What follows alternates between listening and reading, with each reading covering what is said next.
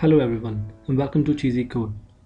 Today we are going to learn about Android activity, what is MVC pattern and how it is used in Android app. So let's see what is activity. Activity is basically a simple screen on Android app. It displays different type of controls like button, text boxes etc. and interaction with those controls are handled in activity.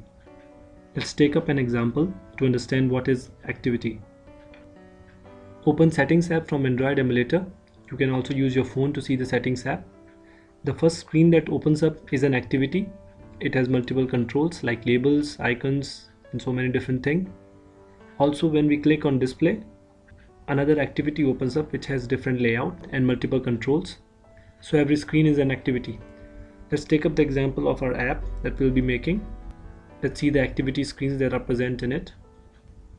These are three activities First one is main activity. It has three buttons and one label. And on the click of this button, another activity opens up. This is the game activity.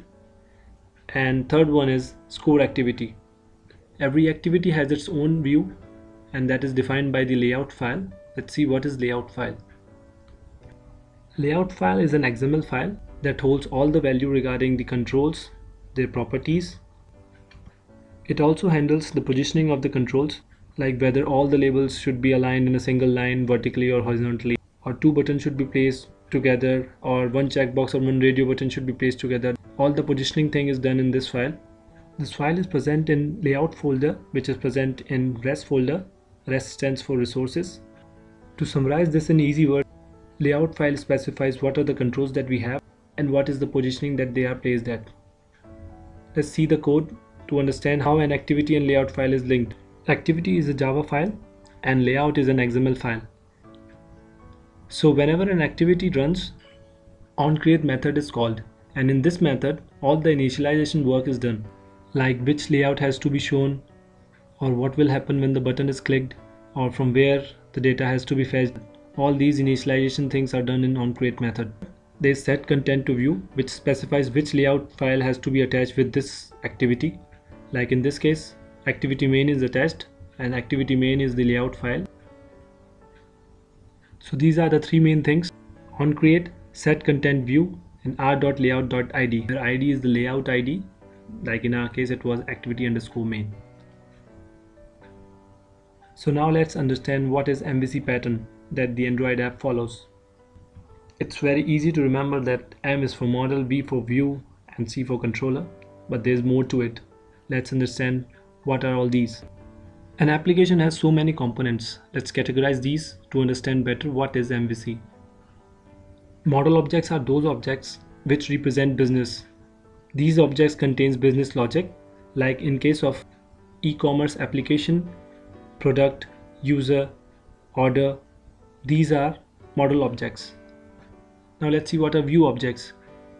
View objects are those which defines the UI and these are responsible for the interaction through user.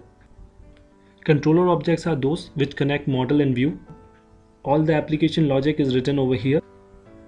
There is an important thing in MVC pattern that view and model never interact with each other directly.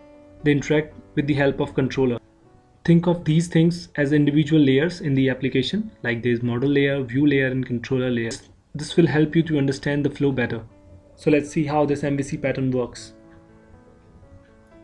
A user came, interacted with the view, then view calls the controller method, which in turns call the model, and after changes in model, the data is returned to the controller, and through controller, view gets the data, and the user sees the updated view.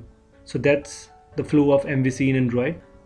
So in our application, activity is our controller, which handles all the code regarding the button click and all, and layout layout is a view object which handles all the UI thing that if we had any class regarding the business or something that would be considered into a model object.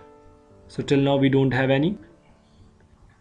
So we only have activity as C and layout as V in the MVC pattern till now. So that's how MVC pattern is followed in Android app. For more information you can visit our site cheezycode.com. There is an article regarding Android activity and layouts. Thanks for watching and subscribe to our channel for more such videos.